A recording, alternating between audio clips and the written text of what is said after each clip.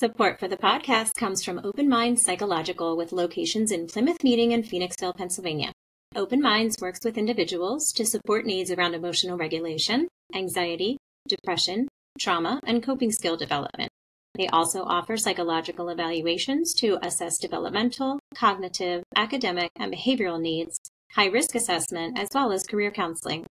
Evidence informed group therapy options are offered periodically throughout the year around topics such as anxiety awareness and skill building, social skill development, ADHD and executive function coaching, as well as parent support groups. Learn more at openmindpsychological.com.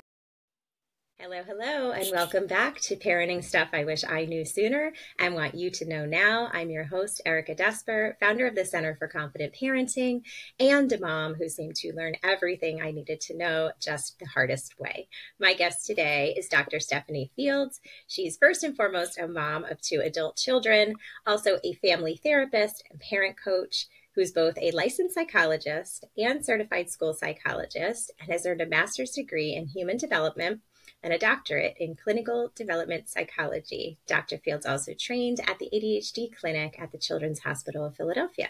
She works with families and children ages 4 to 12 to address anxiety, behavioral challenges, helping parents know when to step in and when to step back to raise resilient children. I love that. Dr. Stephanie, thank you for joining me. Hi, thanks for having me. I'm so excited. Uh, and I'm so impressed with all of your, you know, your credentials. I have a little bit of imposter syndrome. oh, no, no, no. happy to have you. So, first of all, tell us a little bit about you and how did you land in this work of, of helping families?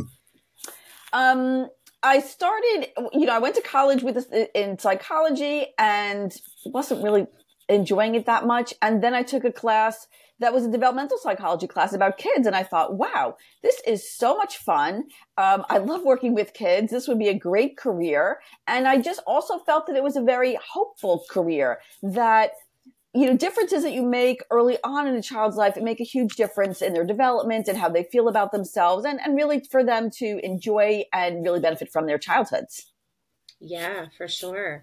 Um, so it just kind of, uh, it fell into your lap. Yeah, I mean, I guess I just really like kids. Yeah, and, you, you kind of um, have to if you're going to work with them, or they'll make you crazy. I just think they're so fun and they're interesting, and I just really enjoy working with kids. I read children's literature for fun. I just like being in a kid's head. yeah, yeah.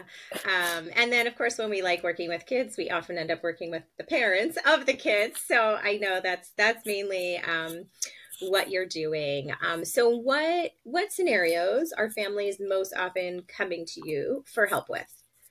So, mostly I'm seeing families where they have concerns with their children having anxiety. So, either lots of worries or inability to do certain tasks they should be able to do because of worries and resistance, and sometimes meltdowns and tantrums because of that. And then I also see families where there are behavior problems, where mm-hmm. um, the child's having tantrums or meltdowns, they're not listening, they are hitting family members, things like that. Got it. Which can be, behavior can be driven by anxiety, right? It can kind of. It can be. It's not always, but yeah. yes, it absolutely can be. Okay. Like, you so know, there's always a component. That's a thing. It, you, right. it, we're not ever just doing one thing. Everything's right. interrelated. Absolutely. Uh, so we're going to focus on the anxiety piece today, and that is near and dear to my heart because I am an adult in therapy for, for oh. anxiety. Oh. I am medicated. Um, each of us okay, in our great. family. Good for is, you for getting treatment right? and addressing it. Yes it was a long time coming. I've joked on previous recordings about how I thought I was a really punctual person my whole life, and I prided myself on that. And then I got medicated for my anxiety, and it turned out I was not a punctual person. I was a person who was anxious about being late. and now I'm like a little late for everything. How interesting. How interesting. Uh, and I just go like, you know, the sky's not going to fall. I'll give them a heads up. They will wait for me. Like it's, which is actually a relief. And I'm like, oh, but my punctuality was one of my favorite qualities, but not if it's being driven by anxiety. exactly. But I think that people need to remember that we have anxiety for a reason. It's an emotion that we have that protects us from dangerous things. And so, no, the sky will not fall if you're late. But sometimes anxiety about things really does help us keep safe. So it's an important emotion to have. yes, it is not all bad, that's for sure. Right. So, and then I'm also the mother of a very, very anxious kiddo. We oh. finally got a diagnosis for him of anxiety and along with that um, OCD, which I just thought I was attributing it to really significant anxiety, but I guess it qualifies as OCD. So this is something that we have really struggled with. Um, and his anxiety can be generalized. He can just be mm-hmm. anxious about everything, or it can be highly specific. Like in summer, it's about bees. Right now, it's apparently about elevators, which was news to me. I don't know where that came from. Um, so I guess my next question for you is how might a parent know if their child is like, well, this is just age related anxiety. They go through things about separation and things about, you know, mm-hmm. whatever, versus like they're overly anxious and maybe we need a professional to step in and help. I found that I think parents are really a good good judges of sort of what's more in the typical range and what's kind of out of the typical range. And so it's actually typical for children to have about on average five to seven fears or worries. So that's normal okay. to have five to seven fears or worries. That's At absolutely any given time. Yep. Yep. Okay. That's that's, that's normal. That's typical. Yep. And so when we're getting outside of that, but really more as professionals, we're looking at, and parents should be looking at, is it interfering with their functioning in some way? So mm-hmm. for children who are afraid of bees, if they're not going outside to play in the summer, then that's a big interference with their regular functioning. If they can't go on play dates, if they can't go to the pool because they're afraid of bees, then that's really interfering with their functioning in life. So that's often what we look for in terms of being the, the line for you should really seek help if it's interfering with their functioning. Absolutely, I agree, and we had some some very good examples of that. Um, for example, he there was a period of time when he was much younger where he wouldn't go to the second floor of our house by himself. it was really kind of ruining our lives yes. um, because we had a multi level home and a lot had to yes. happen on the second floor, and I couldn't always go with him, and I didn't think it was maybe helpful to always go with him. Yes. Um, and we worked through that with a lot of baby steps. Um, and like so said, challenging. And I will so say many, many people have that. And frankly, I, I actually still think that that's within the normal range because okay. it is so common. So, so common. It really is problematic for families, but yeah. it is so common. And to really work on it in therapy is actually very hard. The therapeutic yeah. interventions are, they take forever. They're a ton of work, but yep. sometimes you could do it an easy way, like you send a sibling up you send the dog up. You let them carry the cat up. Sometimes that works. You would be surprised oh, what works. Yeah. A lot of times, even younger sisters, two year olds, if they mm-hmm. accompany a seven year old, the seven year old's okay. And a yeah. lot of times they're willing to do that. So that's, that's a very yeah. challenging one that a lot of families actually have. Yeah. Well, so I'll tell you what you did, and you I'm throwing at this at you spontaneously, but you tell me if this is like an approved method, right? we when I say we took baby steps, I mean that literally. I'd be like, okay, you don't want to go upstairs by yourself. Can can you go to the second step by yourself? Yeah. And I'll stand right here on the landing. And we kind of like, okay, well, you did great. So how about can you go to like the middle of the yes. staircase? And we worked up to like he'd be at the top and he could see me at the bottom. And then I'd say, okay, you know, walk to the bathroom because you need to go to the bathroom. I'll stay here. You'll hear my voice. Um, it was painful and it was exhausting. and then he needed it that is. every single time it's for a so while. So much work. It is so much work. But it did eventually work. And I could just say, like, okay, Good go to the top step. I'll be at the bottom. So is that like if Good the parent's up for that? yes, absolutely. something they or do. you can also like so you could do practice sessions where you like stick yeah. some candies or some coins, nickels and dimes. yep, and you say go up and right. do a treasure hunt and yeah. and then you can move them farther away or you make the quarters farther. So they've got to go all the way to their bed to get a quarter. You know you could do that kind of thing. Um and yeah, that is agonizing for parents i realize um, and not so every kid work. maybe needs that many baby steps um, but it does i always say to parents when i'm coaching like if if you're at the park and they're trying to reach the ladder to get up the the play apparatus if they can't reach that first rung they're not getting up the ladder. So sometimes do you feel like we have to just bring that rung absolutely. down or add absolutely. One. you always need to start where the kids are and move from there. It does not matter where they are. There's no judgment where they are. As long as children are making progress and moving forward that's your goal. Yeah. Okay so you listed some scenarios like they can't play if it's affecting their play which is their main occupation as kids right? Mm-hmm. want to get some help. Um, you also listed maybe won't talk at school um, what, what can we do like what can we practice for that while we're on the topic of practice? How could if someone doesn't talk at school, I would seek professional help right away. So okay. yes, uh, that that's very important to seek uh, professional help right away if someone's not talking in a particular situation. If they're mm-hmm. chatty at home and then they go to school and they don't talk. That's an issue. Yeah. And again, and, for younger children, you can expect the first month or two, they might yeah. talk less, but they should be saying their name or just doing some little talking. But some children just won't talk at all. That yeah. is um, a cause for getting professional help right away. Okay, excellent. And the one that I see most often related to anxiety is that they cannot sleep or will not sleep independently. Absolutely. Um, so that is probably something that you're helping families with. Absolutely. So actually, I found that they're actually related to each other. That mm-hmm. when you get sleep in order, anxiety goes down significantly. Mm. And children who are anxious about a number of things, um, parents don't even, parents hardly ever bring to me the concern about sleep. They bring to me another concern. And when then, when I interview them, sleep is an issue. When we address sleep, often the anxieties are reduced significantly in all the other areas. Right, of course. Yes. And we just did a recording about the importance of sleep and the effects of being underslept. So if you're doubtful about that, go check that one out. it's not um, only that, it's actually it's not about the amount. Actually, in this case, it's about sleeping independently. Learning to sleep without a parent in the room, without a parent lying down next to you. It's a huge it makes a huge difference whether they do or they don't. You can see it in the child's face the 1st mm-hmm. morning they mm-hmm. do it independently, um, you could see a difference. I mean, it's really stark. Yes. Okay, awesome.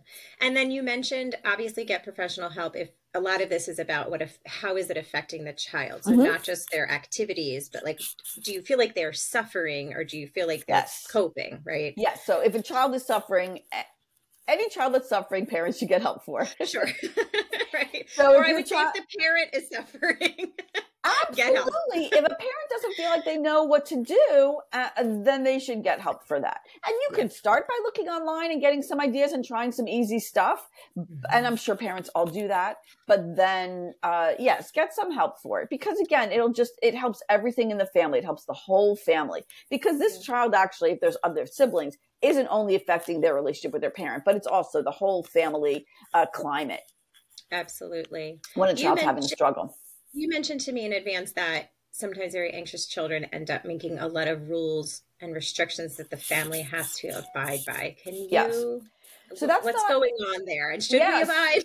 so symptoms of anxiety aren't only that a child has fears and worries. Sometimes they'll have meltdowns. So anxiety is really uh, the way anxiety works is through avoidance. So mm-hmm. you feel anxious and then the way it works in our brains is to avoid that thing that makes you anxious. So right. children will go to great lengths and anybody will really who's anxious will go to great lengths to avoid the thing that makes them anxious. So in children's case, um, it could just be avoidance where they'll just refuse to do something or mm-hmm. they might have a tantrum or a meltdown. So we have many tantrums and meltdowns before bedtime or before going to school or when a parent's leaving the house, something like that. Um, and I forgot the other part of the question that you asked me. Um, why would they make the rules and restrictions? Oh, the rules. What does that do for them? So that is again, they're they're kind of rigid. Mm-hmm. They're kind of rigid and nervous. They're so anxiety also by by having us avoid things makes an anxious person's world very small. Mm. because they avoid something that lowers their anxiety. They think, oh, hey, this really worked for me. I don't feel mm. anxious when I avoid. So, oh, this other thing that's new out there, um, that I'm feeling a little anxious. I'm going to avoid that too. Oh, hey, that's really working for me. I'm not feeling anxious now. So it's, it, you get anxiety, it works through avoidance, and then it makes someone's world very, very small. And so mm-hmm. kids who are anxious, they feel like they can't do certain things. No, I can't do that. They make all sorts of rules. We have to eat this. We have to do this. And parents are just trying to do the right thing. And they think that they are listening to their child and doing the appropriate thing. And so they listen and then you hear all the rules and all the kind of cartwheels the parents have to do in order to make things work in their house. And that's the child's anxiety that needs to be addressed. So that's right, another right, symptom. Right. Okay. And I assume a parent could perceive that as I just have a really strong willed, controlling yes child, but maybe we need to look at it through the lens of it's yes. actually avoidance that's yes. kind of dressed up as or it's uh, anxiety dressed up as avoidance, control, rigidity. Yes, it looks like rigidity, it looks like demanding, it looks like um yes, all that stuff. Okay. Um, so that brings me to my next question of what other behaviors, challenges, issues can be have the root cause of anxiety, be triggered by anxiety or driven by it, but look like something else or did we just cover them all? Yeah we pretty much covered it but mostly the thing that looks like other things is the tantrums and the meltdowns. Behavior. What parents um, would typically consider like bad unwanted behavior. Yes that's sort of in the behavior category but sometimes it really is anxiety. Right. Um, sometimes yelling, arguing back, sometimes hitting, things like that. They're really just inside frightened and anxious and and they're very fearful and so they're lashing out just to sort of make things happen the way they need it to happen. Right. So we're maybe just seeing the tip of the iceberg but underneath mm-hmm. they're anxious about something. And of course that's going to drive correct me if i'm wrong our strategies because if we're treating it as bad behavior with a punishment but it's actually driven by anxiety that's probably not going to yield. We're just not on the right track. right, exactly. so we want to, I guess the takeaway for parents is we want to get curious about what's actually happening underneath so we can have the right strategy to address it. Yes, but actually, some of my strategies have to do with just having things set up in the household ahead of time, sort of beforehand, mm-hmm. to kind of preclude that from happening to sort of really keep us on a good track that when children start veering you kind of know what the track is. And most of us are so busy and many of our listeners have you know multiple kids and maybe they work outside the home and all sorts yes. of activities. So yes. I think the pattern we fall into is that as parents we're typically reacting to these scenarios but what you're talking about is sort of noticing when they happen, where they happen, why they happen, and being a little more proactive. You know, there's going to be a separation coming at 9 a.m. What can we, you know, set up in advance? And like we said at the outset, it does take more time, more energy, more thought. But the trade off is that maybe you avoid the meltdown and the drama and then you get that time back right? absolutely. It's an investment. I, yeah. I i always see it as an investment. Uh, you know sometimes parents do not have the bandwidth to address something. So morning routine is horrible but they don't have the bandwidth at that moment to really address it. And when they get the bandwidth or when they're determined that they're going to devote some bandwidth to this to to to to do it, then they can invest the time and energy in doing it and creating new habits so that then ultimately they're using less bandwidth than they had before in managing that issue. Yeah, exactly. Okay.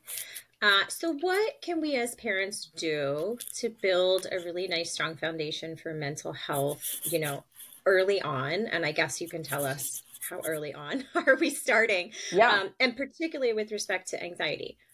Absolutely. So, I am very concerned mental health professionals are very concerned about the teen and young adult crisis, mental health crisis regarding anxiety and depression, which are kind of actually very closely related to each other. And I do feel that we can set the foundation for children, just from what I see coming through my office, that we can set a nice foundation for children to kind of help them develop resilience at a young age, that then they'll be in better shape when they reach their teen and young adult years. And so I feel very strongly that in the home, children should have age appropriate expectations for their own self care. This doesn't even sound like a mental health thing, actually, but I have found in my work that when I address it with kids who have behavior problems or anxiety, they just look so good. They mm. just they just look so good and parents are like wow they just they look so good. They look mature. They seem more settled. And these things are not that hard. Many families do them already but i found in the families that they don't you know these kids are coming in for for help. And so let me give you mm-hmm. some examples of the yeah, kinds of things. When a family's coming in with a child that's anxious and i do an interview about what their day looks like i look at a number of different areas. So i look at the morning routine and so, and it should be age appropriate, but actually kids can do a lot of these things at a pretty young age. So, sure. um, picking out their own clothes. Actually, preschoolers can do this. Yeah. They can, and they love to. And it's kind of funny when they do. Yeah. Um, picking out their own clothes. If you can live with the results of it, if they're not your, that, your the issue is more the parents than the kids. Yeah. You know, you, a kid will walk in one day and the teacher will say, "Oh, I see you dressed yourself." Right. And, and the child's cowboy like, boots in the summer. and they're like, "Yes, I did." You know, they're so proud of themselves, and that's right. what we're looking for: this pride, this confidence, this kind of mm. self-efficacy, self-efficacy, sort of being in charge of their own decision making mm-hmm. that and being able to get stuff done in the world. And so when they get stuff done regarding their own self-care, they actually feel very good about themselves. Mm-hmm. So uh, getting dressed in the morning, um, coming down for breakfast, and then getting out of the house, and then sitting at mealtime with the family, not watching TV or on a screen, but sitting at mealtime, I think is an important milestone their self care in terms of their hygiene. So washing their bodies in the bath. So mm-hmm. even a two year old can start to be washing their body. Because you, you can know, always follow up and make sure it's. I mean, they're sitting thorough. in the tub. How dirty are they? Yeah. Yes. But yes, you can follow up. And you can coach them. So really, I like parents to coach as much verbally as possible. You mm. coach them. If they can't do it, you're right there. Then you put your hands in. But you wait till they get stuck.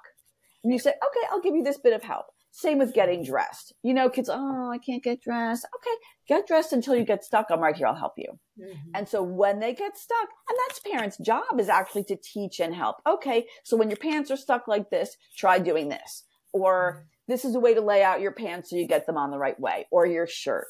And then half of them put them on backwards anyway. Doesn't care. Um, and I'm surprised. So we help with potty training as well, and a, a high percentage of these um, two, three, sometimes even four year olds they get stuck not because they don't understand the process, but they have trouble with manipulating their clothing, which is like a really key. It cuts into the time you have to get there and get it where it needs to go. yeah. Um, so yeah, I think we're a lot of us are missing these steps. yes, yeah. I'm I'm sometimes surprised that, and again, your parents have such a hard life. I mean, they're mm-hmm. busy. They're trying to get out in the morning. There's two people trying to get out usually two parents or whoever's taking care of the kids, they're usually going to a job.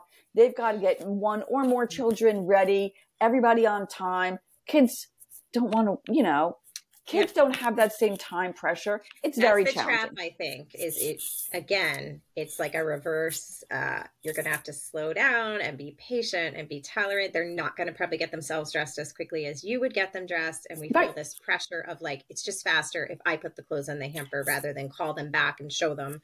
You know um, exactly. That is also, true think we can strike a balance of i always tell parents with a new habit like aim for once a day if they can put their own pants on once a day maybe it's not during the morning rush maybe it's the pajama pants at the end of the day. Right. at least we're like we're getting there right? Right. Um, and depending how old they are i mean at seven they should be putting on their own pants. Yes all the time. And so that's the thing. When when it's really clear they should be doing it it, it should just be you can do this you need to do it. Mm-hmm. and a lot of times they just do. Yeah. Yeah And so I'm just going to move a little bit through some of the other things. So yeah. bathing, showering, doing some of their own hair. A lot of times when they do some of their own hair, they are able to. And so the thing is, parents aren't just leaving this for kids to do. They're doing right. it with them. They're teaching them. They're coaching them. They're modeling. How are we going to manage not getting water in your eyes? You know, mm-hmm. what strategies are we going to use in our family? Some kids lie down in the bath to just get their head to rinse their hair off. Some right. kids will hold a washcloth over their eyes. There's all sorts of different strategies. And so that's what parents are doing when they're teaching and coaching. They're watching, they're seeing where does this child get stuck and how do, how do I teach them to do this? You know, what do I do? Well, when I do it, uh, this is how I do it. How do you know you you have no soap in your hair? Well, when I do it, I see if my hair squeaks. You know, you have, how do they, they don't know that until you teach right. them. So right, all those things, um, wiping themselves, you know, I have elementary school kids who actually don't wipe themselves yet. Right. Yeah. And, and you would be surprised. They don't want to do it, but they're proud of themselves when they do. They felt like it was something they couldn't do, but then when they can do it, they feel really good about themselves. Right. And not like they're going to go brag about it, but there's just this inner kind of confidence that they're taking care of their own bodies. And that's kind of yeah. nice. Um, yeah. And then independent sleep is really kind of the kicker. That's actually the mm-hmm. hardest, um, but it really makes such a big difference in how kids feel about themselves. And I just want to stress to the parent out there that's like, uh, yeah, maybe for other kids that my kid's so anxious, independent sleep is just, you know, not possible right now or not in our future. Like anxious kids can learn to sleep independently. Sometimes it does require baby steps, like we talked about before. Um, but is that, do you agree with that? There isn't like a measure of anxiety where we couldn't nope, work absolutely because really I see such a decrease in the anxiety when they can sleep on their own. So when they sleep on their own, it's practically a cure for a lot of kids. And that's what we're looking yeah. for. However, and, we don't start with sleep.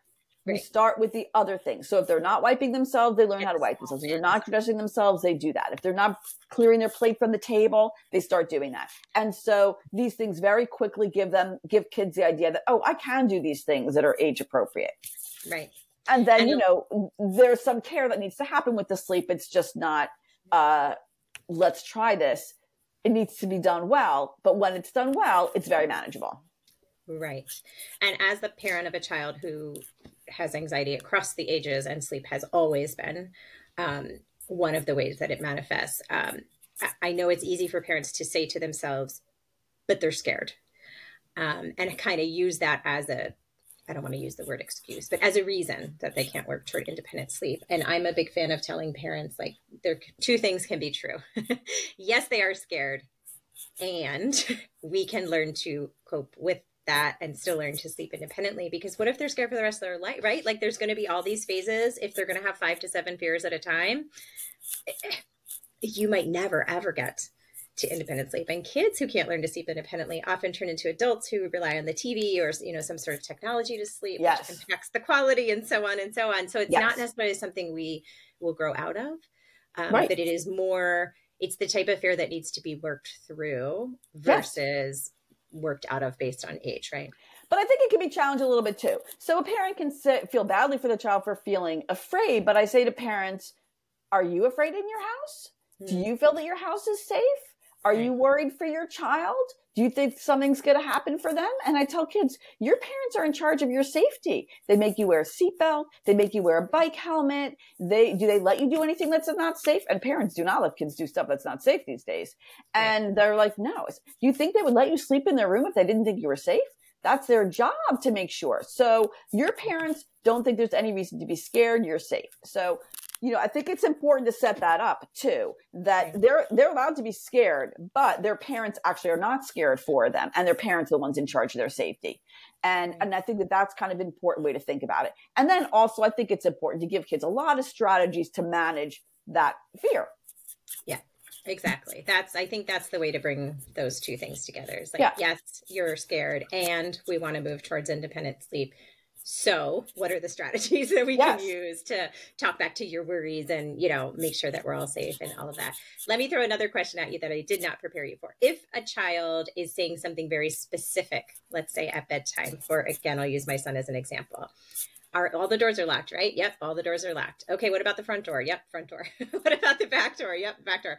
What about the first floor windows? He gets really into it, right? And I'm sure that's the OCD. Um, and we'll talk about, like you said, how the house is safe and the doors are locked and he's on the second floor and our neighborhood is safe and all of that. But what if they throw something super specific at you, like, well, someone could put a ladder against the house and climb up to my window? Like, when they take it there, what do we say? Like, I can't so, say to him that won't happen, right? that that's silly. it could happen. So, how do we speak to the fears that are legit and Absolutely. an older child's aware enough to know this could happen. right. Well, that's the thing about anxiety. We do have it because there is some possibility that these things can happen. So you right. can get stung by a bee. you right. can have a break in. There are house fires. Stuff happens in this life. And, and, you know, you can't ever say, sweetheart, I can't promise you it's not going to happen, but right. it is highly unlikely to happen. We have lived here your entire life. I have lived my entire life of all of my years, and I've never had a house fire. Not going. Right, not right? They do happen and we do this and this and this in case it happens. So if it happens, this is what we would do. But remember, we have a dog, we have house locks, and you could say, you know, this is true for me. I asked the police and they said that it's so unusual that they'll they'll mm-hmm. find a house where the door is unlocked or the windows unlocked rather than get a ladder because right. people would see them and they'd get caught. And right. we have good police here and mom and dad is here. And it's just not likely to happen. Yes, this could happen, you know, but it's really not likely. And I'm not worried about it. And so it's just not worth it. Okay. We need to live our lives. So it sounds like we always do this thing called, you know, possible, not probable. Like, is it yes. possible yes. that could happen? Yes, I can't promise you, but the probability is so low based on da da da da da, which you just said. And then yes. the third P would be and we've prepared for that by. Whatever having an exit plan or having an alarm system or whatever yes so yes focus focus on the three p's possible yes. probable and preparation absolutely yes i mean and even for the worst one which is you know what if something happens to you my parents and mm-hmm. you you let them know it is not likely i do all these things to be healthy and safe i wear my seatbelt i go to the doctor i do everything i can but stuff happens if anything happens to me this is who is going to watch you. Right. Right, right. That right. tends, they stop, they tend to not ask again. Once you tell them what the plan is, once right. they know there's a plan, it really seems to help um, okay. alleviate a lot of that anxiety. And just to clarify what we would not want to say, we don't want to sugarcoat it and be like, oh, that can't happen, even if they're really young. We don't want to promise no. something that's not possible because that won't help the anxiety, right? Oh, right. Yeah. My children yeah. lost their father. Mm. He got sick. Yeah.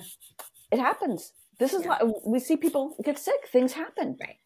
And, and then we run the risk that they won't trust our dialogue because absolutely well, I know someone who lost their parents, so I know it's possible, and now I don't believe you. So yeah, it is. This is life. honest. Yes, yeah. this is life. Yes, but we All can't right. spend all our time in worrying about this because then we're not going to have fun. We need right. to have fun. We need to enjoy our lives.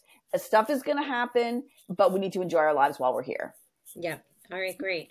So let's step back a bit to the self-efficacy and the daily tasks that are, you know, reasonable expectations for our kids that we should have them doing. Um, a lot my son is neurodivergent. I know a lot of our listeners have kids who are neurodivergent. So if your child is, do your strategies then as a parent need to, with respect to anxiety or efficacy, do those strategies need to change? Do our I think expectations the, I think the goal is still the same because these kids will still feel good about themselves the more they can do. And frankly, they need it more because they mm-hmm. have other struggles in their lives. So if they're able to care for themselves, it actually is very powerful for them. And, and you really want that. Often I've found that they tend to need executive functioning support to get some of this stuff done. Mm-hmm. And so this is not, you know, these are not rocket science interventions. It's just regular executive functioning. Normally these kids can do all these tasks. And so they'll might need, you know, some reminders I don't think that's the end of the world. Sometimes, let's say a little chart or a list if they don't remember their morning routine, or even for younger ones, what, what do you need to get dressed? What are all the clothing items or what's the order of the clothing items? You know, a little list that's posted in their room is certainly helpful or what do they need to do in the bathroom? That kind of thing. That's helpful. Um, some kids with real, you know, attention issues are very distractible can use a support like doing like getting dressed in the same room as someone else you know either in the same room where the parent is or some kids bring their clothes down to wherever the parents doing their morning jobs making breakfast something like that and they just get dressed there. Mm. because they just are too distractible to get dressed on their own. So that's more of an attention issue. And that mm-hmm. can help the morning routine go smoother. So things like that um, can be really helpful. Yeah. And i have found I feel like scaffolding is such a buzzword right now, but as the parent of a neurodivergent kid, I found that we need a lot of scaffolding when we're working through a routine, like the shower and after shower steps of teeth and, you know, all of that. Um, they just, he needs a lot of repetition and he does need a visual, but then eventually, and it takes longer than I wish and really longer than I can sometimes tolerate, um, he does eventually take that over on his own. So yeah. I just want parents to know that it, it may last longer than you wish it would, but those things you can eventually remove those supports. That's something we do in the morning that has helped with, all, you know, he needs to take his allergy spray and his, yeah. um, ADHD pill and brush his hair. And now he's old enough, he needs to put on deodorant. That's already a lot of steps for someone who doesn't wake up very well or easily and isn't really interested in going to school that day. So we're already starting on the wrong foot. So we have a little, um, we call it the caddy. It's a little basket from the dollar store, and everything he needs for his morning routine is in that basket, including a toothbrush and toothpaste in case he forgot to brush before he came down because he gets really agitated if I send him back up. So all I have to say now is, have you done your caddy? Or hey, what do you need to do to be ready? And he knows that's the caddy. That's so, so perfect. It, it takes like five things and puts them into one. And I feel like that's not a crutch necessarily. It's more of a tool because he could do that for himself as an adult that lives outside the house. I have everything for the morning here in one spot. Um, exactly. So is that an these, example of what these are? The fabulous example, and it's great because it's great for them to be learning now. What do they need to do to be successful? And it's not a crutch; it's a support, it's a strategy, it's a um. There's another word that I can't think of. It's a it's a compensatory strategy. Accommodation. yeah, but but that's fine. I mean, like yeah. like a lot of us do this kind of stuff. This is just normal, like like living with our own yes. brains, and so in a very complicated world. So yeah, it's great that they're learning how to live with their own brains now. And again, the nice thing about some a support like that is that you don't always have to be there. You can say, "How are you doing on your caddy?" or "Where right. are you on your list?" a lot of these kids do like to check stuff off, so yes. checking stuff off can be nice. Um, but they do forget stuff. And I know it's really valuable in terms of executive function to ask them a question that they have to think through versus say, like, do your caddy? Are you done your caddy? It's a very small shift to say, where are you on your caddy? Or what mm-hmm. else mm-hmm. needs to happen to be ready to walk out the door? I used to say, socks and shoes, socks and shoes, socks and shoes, put your so- socks and shoes right, on right, right. and drive myself nuts. And now I look at him and say, all right, we're walking out the door in two minutes. Are you ready to walk out the door? And he goes, yeah, you know, and then he lo- looks around and goes, oh, I don't have any shoes on. um, and it's funny and it's agitating. Um, but I feel like that will move him forward more than me just saying, Absolutely. Shoes, shoes, shoes, shoes, right? Absolutely. Yeah. It's having, so you're very slowly transferring responsibility to him. And so right. with these kids, it takes longer. With every child, you're transferring this responsibility from you caring for them to them caring for them. And it goes at different paces. But again, as long as they're making progress, the mm-hmm. rate is really not the important thing. Right. And I've also learned to drop my expectations. And I don't mean this in a negative way, but when your child has a developmental delay, you may be working on tasks that a much younger child yes. we would expect to have already mastered because it's just going to take them longer to yes. get there. And that is not necessarily a bad thing. That's what a delay is. Yep. And once we catch up, we're caught up. um, so I used to feel bad that we were still working on like the evening routine or whatever, but I've made, you know, I've made peace with it. We'll still get there. Yeah. Um, there's one other thing I wanted to circle back to when you gave the example of, you know, let your child pick out their clothes for the morning which is an excellent one. And some kids would get excited and would be really successful. I also work with a lot of kids who get uh, overloaded from the volume of choices. So if looking into a drawer of shirts and leggings is, is like too much, um, like we often will suggest that our parents give limited choices are you know do you want to wear the pink outfit or the purple outfit or whatever like how would you what would your strategy be for a kid who we're trying to give them choice um, and control, but they they can't handle it. Absolutely. So some kids can't, but um, it's also a job that needs to be done. And so just because it's challenging for them doesn't mean that they still shouldn't do it. So okay. again, you could work, every child is different and you could work that out. You could just say, just pick the one on top. Hmm.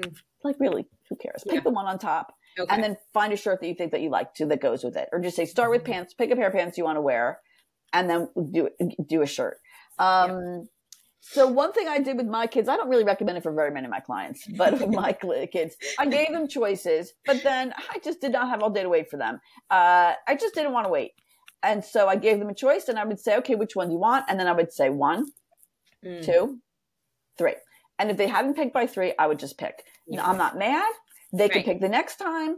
Uh, but sometimes actually they were just a little bit relieved that they didn't have to pick. Right. You know, sometimes it's a little bit much. We have so many choices. We really have too many choices in our world. We're so it's a it's a luxury, but it's a little bit of a burden too to have so many choices. Yeah, exactly. And so sometimes I would just count, and they never argued with me about it. Right. And I think that brings this all back to like, why can it be helpful to bring in a professional to look at everything and give you strategies? Is that every child, every human is so individual. So we can throw strategies out for days, but how that, how your child processes that, it could backfire. It could, you know, make things worse. Um, and it's just hard as a parent of one or several children to know of all the available strategies that you could use and measure you know how well that works. So i think that's where you know having a coach or someone to say like ooh in learning about your child their temperament their personality i think this you know because it sounds like even with your own you know there wasn't one strategy that worked every morning or for both of them. Oh, oh both of my children were very different and so I used had to use different strategies for each one of them. Yeah. Um, and the other thing, which almost that, doubles our parenting job, right, or triples, or however many I kids say it expands your parenting skills. Yes, that's a good. That's a uh, better way to say it. Expands your well, and it's kind of interesting in that way that, that you do develop other skills. It expands your repertoire. The other thing is though that every parent comes with their own skills and preferences, so it's not only the child but it's the parent too. Um, what they bring to the table that you just have to understand that the parents can't, can still be themselves. They don't have to yeah. be a different person. Sometimes, you know, our children do require that we move out of our comfort zone sometimes. And that's something that we, we can do sometimes for them. Yeah. But, but we still are who we are. Like I'm, I am not someone who can wait forever for my kid to make a decision. I just, right. it just doesn't feel good to me. And so I right. need to listen to that and, and figure out a way to move it forward. Yeah. Excellent. Excellent. All right. This has been fabulous. I have one more question for you. We'll sure. have you back in the future. We'll focus more on behavioral challenges. What is one thing that you have learned on your journey, whether it be parenting, supporting parents, what have you, that we haven't touched on yet, that you would like other parents to hear and to know today? Uh, so I just one point I want to make about uh, parenting today is that what I'm hearing now is that parents are feeling a lot of mom guilt. Mom guilt is the thing that I hear the most. And I feel so badly for parents that this is how they're feeling because I know how hard they're working and how much they're investing of themselves in this role. And so, uh, in psychology, what we think healthy children need is only good enough parenting good enough. That's a very low bar and you can still have healthy children with this very low bar of good enough parenting. So I'm hoping that we can start to re-educate parents to some degree and be kinder and not have them feel guilty about things that they are or aren't doing uh, because I am sure that they're doing at least good enough, but probably an excellent job. Yeah. And what, what is good enough parenting? What does that mean to you? It's obviously not perfect. We're not aiming for perfection. It's not perfect. So, um, I don't think, for example, parents need to accommodate every single one of their child's wishes. Mm-hmm. Like, I don't think they have to feed them different food at night. I don't think that that is better for them. I think that kids can figure out, or parents can figure out what part of the meal the child can eat and only make one dinner. So to me, that's good enough. Actually, I think it's actually better, healthier for the child and for the family. Um, what else is good enough? Uh, you know, again, letting ch- children f- fail. Mm-hmm. You know, I think that that's okay. Not, not horribly. Not rushing Be- in to rescue. Being there to support them, but yes, letting them experience some of the consequences of their behaviors, but also letting them make decisions on their own, which they like you know, sort of informing them ahead of time. Okay, these are the trade offs of this decision. Um, try it now. If it doesn't work out, it's not the end of the world. You'll try again next time, kind of thing. And have them. And I think it's helpful to talk them out ahead of time, but to then allow them to experience the consequence of their decisions, like, you know, forgetting their lunch at school. Like, really, what's the worst that's going to happen? Someone's going to give them some pretzels, something like that. But um, they will learn to not forget their lunch and you're not running out to bring their lunch into school. The, the, lesson that's learned is so much more powerful. But then people are like, oh, I can't believe you let him go without lunch. You know, you, you have to sort of, you have to a little bit be strong with what you believe is best for your child. Yeah.